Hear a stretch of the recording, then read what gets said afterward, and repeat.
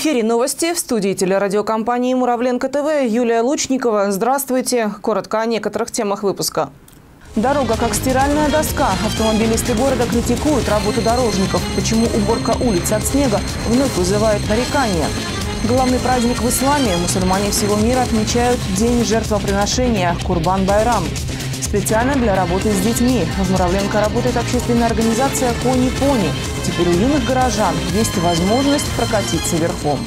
На Ямале продолжают бороться с контрафактной и контрабандной продукцией. По оценкам экспертов, около 80% жителей округа пользуются товарами сомнительного происхождения. В 2013 году ассортимент выявленных в регионе подделок расширился. К трикотажным изделиям и обуви присоединились наручные часы, предметы кожгалантереи, заколки, солнцезащитные очки. В отношении распространителей контрафакта до конца года арбитражным судом округа будет рассмотрено 6 дел. Добавлю, что на Ямале Мали принимается целый комплекс мер по выявлению и пресечению изготовления и распространения пиратской аудио, видеопродукции и программного обеспечения. Особое внимание уделяют ликвидации контрафактного алкоголя. С начала года в округе было проведено более 350 проверок алкогольной продукции, в ходе которых было выявлено более 11 тысяч бутылок суррогата. Потребителю следует быть внимательным, не стоит стесняться спросить у продавца все сопроводительные документы на товар. В Муравленко уже на протяжении пяти дней идет снег, и мы вновь возвращаемся к теме очистки городских дорог. Отмечу, что в этом году эта задача передана предприятию «Муравленковские коммунальные системы», а не дорожно-эксплуатационному хозяйству, как это было ранее, рассказывает Светлана Грачева. В Муравленковских коммунальных системах появился дорожный отдел. Именно он теперь в ответе за то, чтобы улицы и дворы были очищены от снега. Возложение этих задач на новую организацию не избавило наш город от проблем. Автомобилисты, как и в прошлом году, продолжают критиковать работу работу дорожников. Как бы чистят, но сами видите, какие дороги. В чем неудобство? Да как по гладильной доске едешь, по стиральной. Машина едешь как э, по стиральной доске. Но это же о чем-то говорит, что плохо чистят. Ездишь как по стиральной доске. То есть это убивается подвеска. Дороги убираются только в дневное время. То есть когда выезжает основная часть машин, то есть машина выезжает чисто и так далее и тому подобное, и приходится ездить по грязи. С мнением этих водителей согласен и таксист Владимир. Он каждый день за рулем. По несколько часов ему приходится ездить по снежным буграм и накатам. И это только по одной и центральной улице Ленина. Ну, они убирают, допустим, что, ну, снег же-то падает, что ж, э, ну, Значит, не хватает техники. Ну, вот видите, вот эти бугры. Техники в дорожном отделе МКС действительно не хватает. Автопарк, конечно, не изношен на 100%, но текущего ремонта требует постоянно. Только сейчас в ремонтной мастерской находится 7 специализированных автомобилей. И это только половина проблемы. Специалисты сегодня предприятию нужны практически как воздух. Есть проблема, конечно, с персоналом рабочим. Не хватает у нас механизаторов, вот сейчас у нас 5 э, единиц э, тракторной техники, которая может убирать э, наши улицы, но на 5 единиц у нас 5 механизаторов. А это значит, что технику можно выпускать на линию только в одну смену. Нарушать трудовое законодательство никто не вправе. Сегодня по факту вместо 14 на уборку улиц от снега вышло всего 6 единиц специальной техники. Автогрейдер, две машины с пескоразбрасывающей установкой и три трактора. За день по дорогам они проехали всего два раза. Именно поэтому и страдает качество очистки.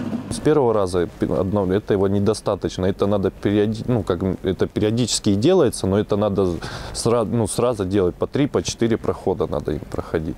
Отмечу, что в настоящее время от снега очищают лишь центральные улицы города, тротуары, подъезды к образовательным учреждениям. Во дворы снегоуборочная техника еще не заезжала. На данный момент сейчас наша, наши руководители, наша организация занимается э, ну, как бы розыском субподрядных организаций, которые будет наниматься для этого. Это ну, в основном тяжелая техника, бульдозеров, которой на данный момент мы испытываем нехватку.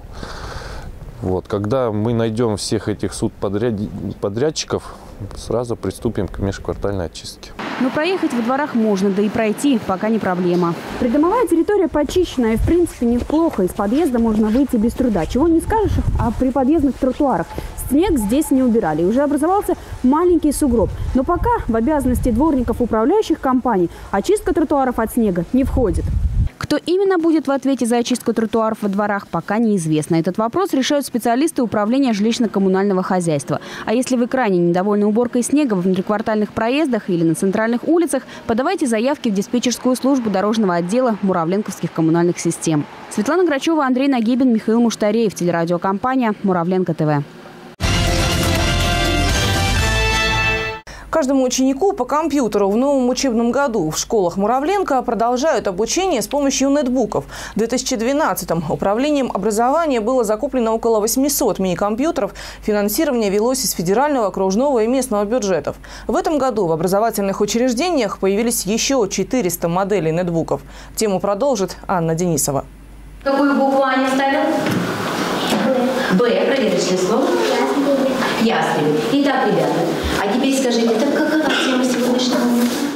Какой бы ни была тема урока, электронный помощник, а точнее нетбук, пригодится всегда. Окружной проект «Один ученик, один компьютер» реализуется в школах нашего города с 2012 года. Нетбуки используют во время занятий во втором, третьем и пятом классах. Главная цель нововведений – научить ребенка правильно работать с источником информации, получать ее и перерабатывать должны сформированы быть универсальные учебные действия, и в этом помогает нетбуки нам, потому что э, дети тренируются, э, они работают с цифровыми, с цифровыми образовательными ресурсами. Вот. Потренировавшись, ребенок уже может выполнить задание. Это очень удобно, потому что не надо черкать в тетради, Однако тетради никто не отменял. Нетбуки делают наиболее интересным учебный процесс, они упрощают его. За компьютерами без перерыва ребята работают не более 10 минут. Ученицу третьего класса Полину Хохрину такая модель обучения полностью устраивает. Она даже готова отказаться от тетрадок и учебников в пользу современного гаджета. Наверное, удобнее нетбуки, потому что в тетрадках нету интернета. Вот э, нетбуки помогают тем, э, иногда вот э, на разных предметах разные задания. Вот по окружающему миру у нас было задание узнать, что такое горизонт. И можно набрать в интернете, что такое горизонт. И тебе э, э, ответят. Поначалу программа «Один ученик, один компьютер» сложно давалась самим педагогам. Периодически они обучаются на специальных сьютерских курсах. Кроме того, теперь учителям приходится затрачивать на подготовку урока больше времени, чем раньше. Тоже подготовка, конечно же, была к уроку хорошая подготовка, но здесь очень много нужно материала, нужно, э, уроки проходят у нас в форме диалога, и нужно подготовиться очень хорошо, знать, что предположить, что ребенок ответит. Сегодня нетбуками обеспечены учащиеся вторых и пятых классах всех школ города. В этом году дополнительно было закуплено свыше 400 компьютеров. Второклассник Герман Бойко освоил лазы компьютерной грамотности лучше своих одноклассников. Они сейчас пока забыли, но я все запомнил там, себе в свой ум вложил, чтобы запомнить там. Мне нравится выполнять, подключать к интернету. Почему? потому что их, это так классно, вот сюда нажимать, везде нажимать, так все. Руки работают, двигается все. Педагоги Муравленко говорят, что в будущем нетбуки станут незаменимыми в процессе обучения. Возможно, они полностью заменят учебники. Реализация программы «Один ученик, один компьютер» уже доказала. Современное компьютерное оборудование способствует увеличению доли практической части урока, развитию самостоятельности и формированию умения учиться у младших школьников. Анна Денисова, Сергей Кириченко, телерадиокомпания «Муравленко ТВ». Сегодня мусульмане всего мира отмечают один из главных религиозных праздников – Курбан-Байрам. Он является частью обряда паломничества в Мекку. Не каждый верующий имеет возможность совершить хадж, поэтому каноны ислама предписывают мусульманам исполнить обряд не только в Мекке. С раннего утра верующие Муравленко собрались в мечети для праздничного намаза. После молитвы и поздравительных слов имама мусульмане совершили ритуальное жертвоприношение, угощали всех желающих праздничной шурпой. Праздник Курбан-Байрам мусульмане встречают с особым настроением, желая всем добра и благополучия. Хочу поздравить всех жителей города Муравленко, всех мусульман, также с праздником Айдель-Адха, праздник Курбан-Байрам. Желаю всем блага, чтобы все, иншаллах, обращались за помощью к единственному Всевышнему Аллаху, посещали молильные дома и были активны в этом. Малые дела, большая польза. Муравленко в рамках объявленного на Ямале года народосбережения реализуется сразу несколько социальных проектов. Совсем недавно в нашем городе появилась новая социальная организация «Кони и пони». Ее активисты уже стали обладателями регионального гранта, рассказывает Татьяна Бойко. Наездница Анастасия Еркеева уверенно держится в седле. Девушка с детства грезила лошадьми. Комнату обклеивала плакатами, взахлеб читала книги о гнедых рысаках. Будущей студенткой она устроилась работать на ипподром. Но ее мечта о собственной лошади осуществилась только в Муравленко. Помогла старшая сестра, которая тоже с трепетом относится к лошадям. Вместе они решили создать общественную организацию «Кони и пони». Подали заявку на участие в региональном конкурсе по предоставлению поддержки социально значимых проектов. И выиграли полную радость, такое удовольствие, что наконец-то будет у меня лошадка своя, за которой буду ухаживать, чистить, там, поить, кормить. То есть, не знаю, детская радость, действительно, та вот мечта с детства сбылась. Вот она и есть, моя кобыла моя фиесточка. При помощи выигранного гранта девушки приобрели двух лошадей и амуницию. За животными ездили в Челябинскую область, подбирали спокойных и уравновешенных коней специально для работы с детьми. Объезжать, кормить и ухаживать за лошадьми девушкам помогает друг семьи Евгений Мальцев. Лошади на новом месте уже адаптировались. Первые желающие смогут прокатиться верхом уже в конце этой недели.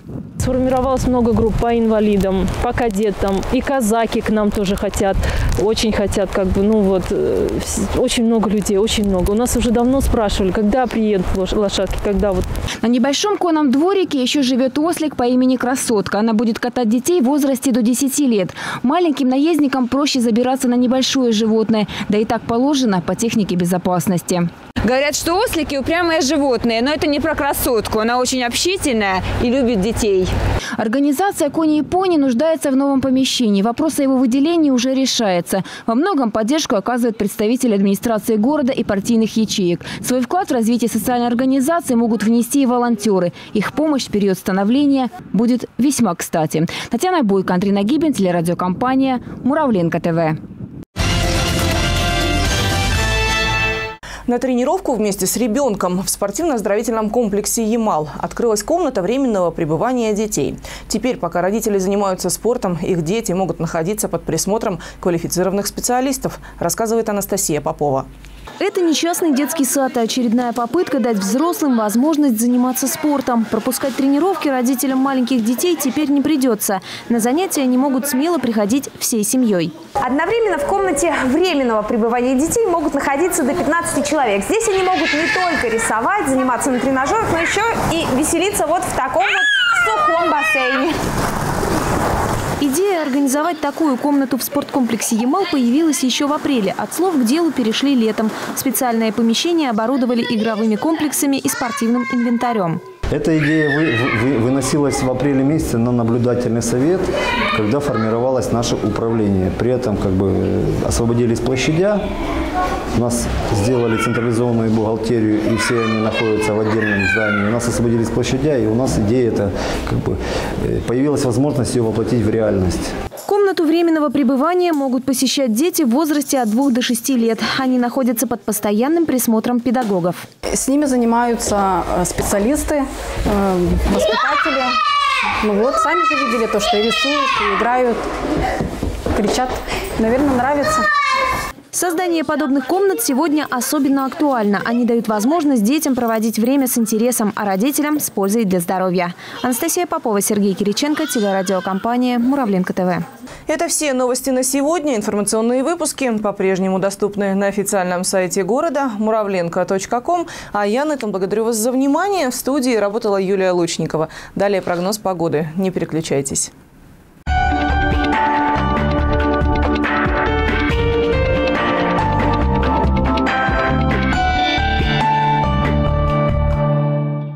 Спонсор прогноза погоды – торговый дом «Керама». По прогнозам Гизметео, в среду 16 октября в Муравленко пасмурная погода. Осадков не ожидается. Температура воздуха 6-8 градусов ниже 0. Ветер западный, умеренный, до 8 метров в секунду. Атмосферное давление очень низкое – 738 миллиметров тупного столба. Только в октябре грандиозная распродажа в Кераме. Межкомнатные двери немецкий ламинат 33 класса с выгодой до 25%. Скидка на мебель для ванной до 30%. Подробности у продавцов-консультантов в центре Керама.